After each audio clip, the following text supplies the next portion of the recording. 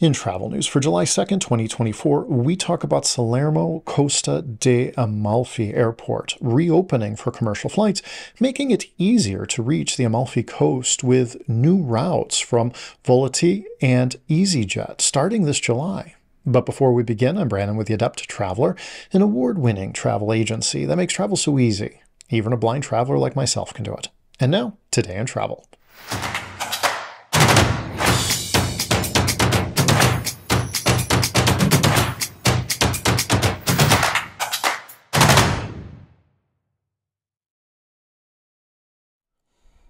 The picturesque Amalfi Coast, with its pastel painted villages and lemon grove terraced cliffs, attracts around 5 million tourists annually. However, reaching this UNESCO designated region has often been a challenge, involving a lengthy journey from Naples Airport through a combination of trains and buses. This year, travelers can rejoice as a closer and more convenient option becomes available. After a significant facelift, Salerno Costa de Amalfi Airport is set to commence international commercial flights in mid July. Situated 28 miles southeast of Amalfi and 13 miles from Salerno, this airport will now serve as a major entry point to the famed Amalfi coast. Originally built in 1926, the airport has a varied history, having served as a military base, a flying school, a firefighting center, and a private airfield.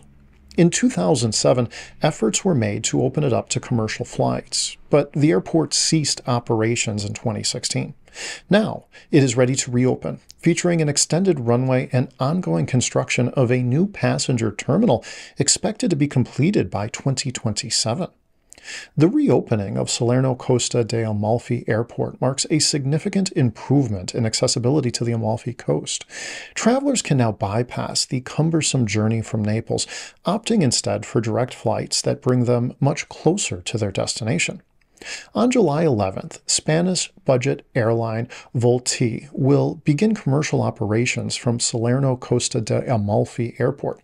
The airline has announced four initial routes Cagliari, Verona, and Catania within Italy, and Nantes in France. Flights to Nantes and Cagliari will start in July, while services to Verona and Catania are scheduled to begin in September. In addition, EasyJet will offer direct flights to Salerno Costa de Amalfi from London Gatwick and Basel. This expanded network of flights is expected to significantly boost tourism in the region. The development of Salerno Costa de Amalfi Airport is set to continue until 2043, with the aim of eventually accommodating 6 million passengers annually. This ambitious project has been welcomed by tourism and hospitality businesses along the Amalfi Coast, which anticipate increased visitor numbers and economic benefits. However, there is also concern about the potential strain on the area's infrastructure and natural environment due to the surge in tourism. The reopening of Salerno Costa de Amalfi Airport as a commercial travel hub is a game changer for access to the Amalfi Coast. With new flight routes reducing travel time and hassle, visitors can easily enjoy the stunning beauty and cultural richness of this Italian gem. As the region prepares for an influx of tourists, the balance between promoting tourism and preserving the environment will be crucial to maintaining the Amalfi Coast's allure. Today in Travel is brought to you by Adept Traveler, an award winning travel agency that specializes in making travel easier for everyone. From the novice to the expert, from the able bodied to the disabled traveler, it is our belief that everybody deserves to travel well. Until next time, travel well, my friends,